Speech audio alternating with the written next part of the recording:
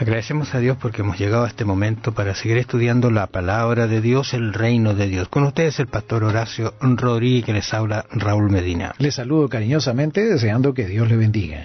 Quiero invitarlos para que usted participe en lo que es el programa Diálogo Bíblico, también en el resumen que la radio tiene en su horario dispuesto, y también invitarlos para www.escuelasabatica.cl donde va a encontrar material adicional, estos comentarios para tener un concepto más claro de lo que es el reino de Dios de la conversación que hemos tenido durante esta semana. Jesús dijo en algún momento que de los pobres es el reino de Dios. ¿Qué opinas tú, Horacio, sobre esto de los pobres, de espíritu? Es el ah, reino de Dios. Creo que esa parte estaba faltando. Que no todos los pobres, porque a veces hay personas que tienen, eh, eh, entienden mal esto que el Señor dijo.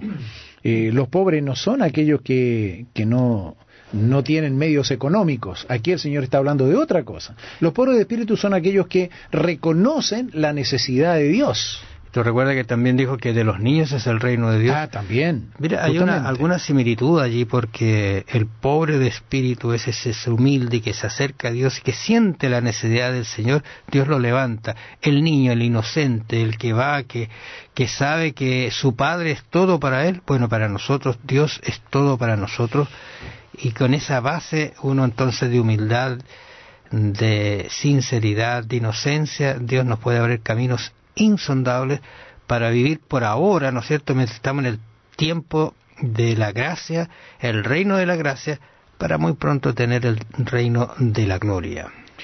Bueno, eh, tenemos que tenemos que considerar que creo que son las madres quienes tendrán que poner en el corazón de los niños precisamente ese, ese anhelo por las cosas espirituales. Son algo que tiene que ser desarrollado, la dependencia de Dios, esas cosas son, eh, son fundamentales. Cuando el Señor habla aquí de que de los niños es el reino de los cielos, está hablando precisamente de lo que tú decías, de la inocencia. Pero hoy, mm, desgraciadamente, algunas madres, queriéndolo o no queriéndolo, algunas para que los niños lo dejen, las dejen tranquilas, otras porque no tienen otra opción porque trabajan, están lejos de los niños, eh, los dejan a merced de la televisión e internet.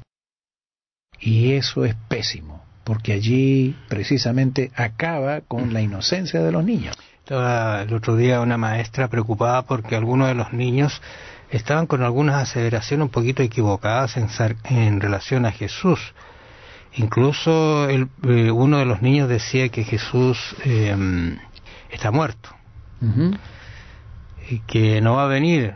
Entonces, de improviso uno empieza a pensar de dónde sacan este tipo de, enseñanza cuando estoy hablando de hijos de personas cristianas.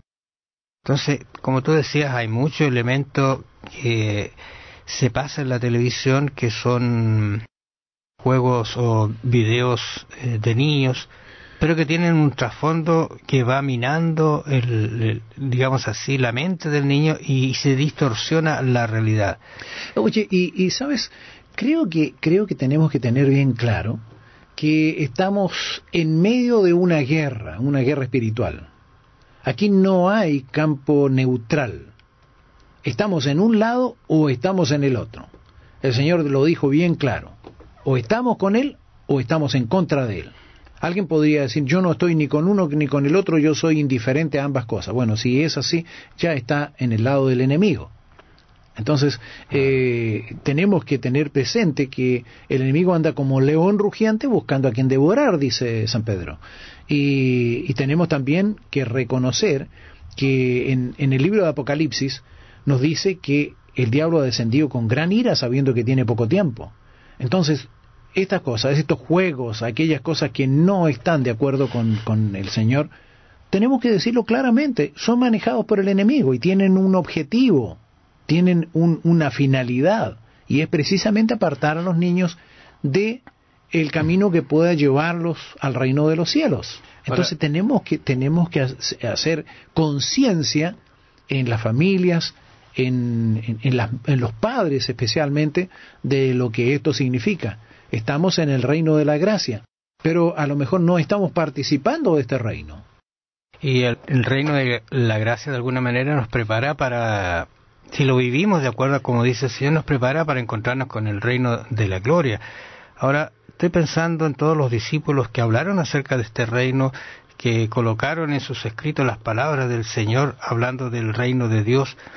Ellos descansaron, eh, están esperando el retorno del Señor, no lo vieron, eh, no lo participaron, incluso cuando uno va al libro de, de Hebreos capítulo 11, al final, ¿no es cierto?, uno de ese capítulo se encuentra con expresiones como y todos estos se fueron, descansaron, pero no percibieron, no recibieron lo que Dios les había prometido. ¿Significa eso que el reino de Dios no posee una dimensión futura, que no será real? Porque puede estar el extremo de algunos veces, no, Cristo ya no viene, no va a venir a buscar a sus hijos, Él va a instaurar un nuevo reino aquí en la tierra, lo mismo que decían los, los, judíos, el reino será en la tierra, y no, Jesús dice, no será aquí en la tierra, no será en este mundo caótico, con, la, como, con lo que estamos viviendo, será algo nuevo, totalmente nuevo, y Apocalipsis sí lo dice, vi un cielo nuevo y una tierra nueva, porque el primer cielo y la primera tierra pasaron, ¿te fijas? Entonces cuando se habla de un reino de gloria, está hablando de un, un de un reino diferente, con características diferentes, donde el mal nunca más se levantará, nunca más va a existir, donde va, no, no va a haber dolor, dolor ni llanto, porque las primeras cosas, dice Apocalipsis, pasaron y aquí que yo hago todas nuevas, todo nuevo.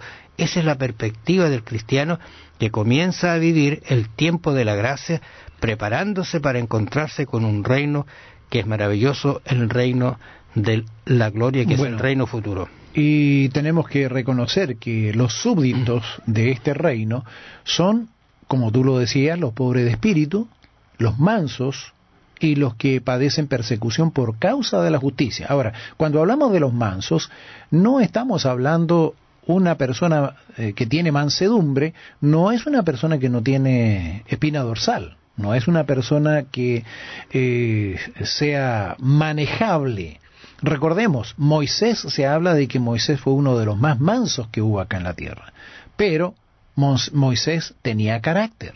Moisés tuvo que guiar al pueblo, se necesitaba ese carácter para guiar a un pueblo de más de un millón de personas a través del desierto. Entonces, eh, él era manso, pero, pero tenía carácter tenía fortaleza. Tenía una posición. Eh, exactamente. Ahora, los que padecen persecución por causa de la justicia, tenemos que dejar bien claro que aquellos que padecen persecución es porque son justos, porque son personas que son leales a sus principios. Esos son. Y aquellos que por ser leales a sus principios, a sus convicciones, padecen persecución, bueno, ellos son bienaventurados también, como lo son los pobres de espíritu y los mansos, y ellos son los que eh, se heredarán el reino de Dios, el reino de los cielos. Y por otro lado, siempre ahí está estas cosas que van de un lado a otro. Por un lado dicen no va a venir y otros dicen colocan fechas específicas para decir que vendrá en este tiempo. De eso lo hemos escuchado muchas veces pero en realidad no tiene ningún sentido fijar una fecha porque Cristo dijo que solo el Padre en su propia potestad sabe el día y la hora de su venida. Solo nos depara que este reino de la gracia, que somos partícipes, nos haga en algún día participar del reino de la gloria que Dios establecerá muy pronto. Amables oyentes, los esperamos en el resumen. Que el Señor los bendiga. Bendiciones. Será hasta el resumen. Que el Señor le bendiga.